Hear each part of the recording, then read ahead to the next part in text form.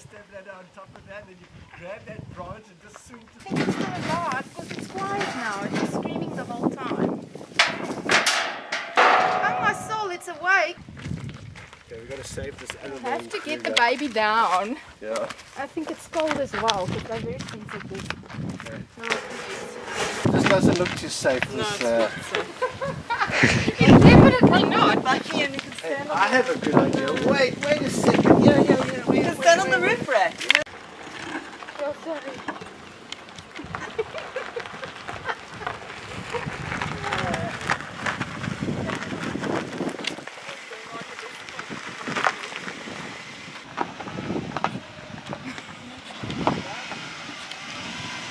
Okay, that's fine.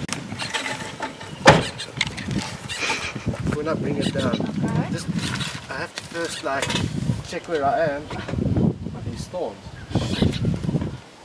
Okay.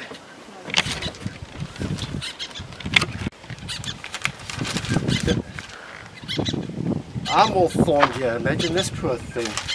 I need rather give me the The towel. towel, okay. Shit, I better drop it. Oh no. Come stand on this side here. So if it falls. We're gonna help you, young.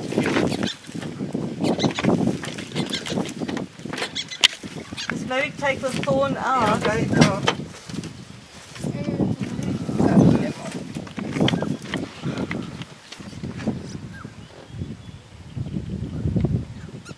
You can break the branch maybe.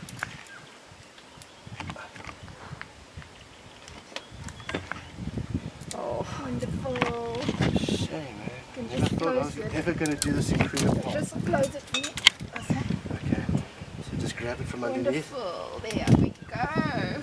So really save it. That's very young.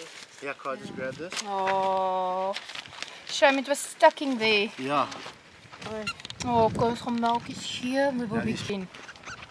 Thank you so much. What do you think? This is part of life. And this is Oh, what we love animals and wildlife. Eh? Jeez. this you is see what that we're stuck in it, eh? Oh, Come, let's thank sit- you. gonna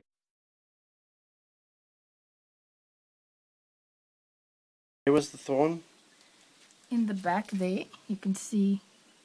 There's you can- nothing there anymore. No, you can see the little spot there, Shame. there, and I think maybe the starlings was busy with him as well, because you can see there on his body. There, there's like little spots there as well. How old do you think it is? About two weeks. And we've named it Thorny. Thorn, yeah, Thorn. because it was stuck in a thorn tree. Look at the little body, but he looks good. You can see there's little marks as well.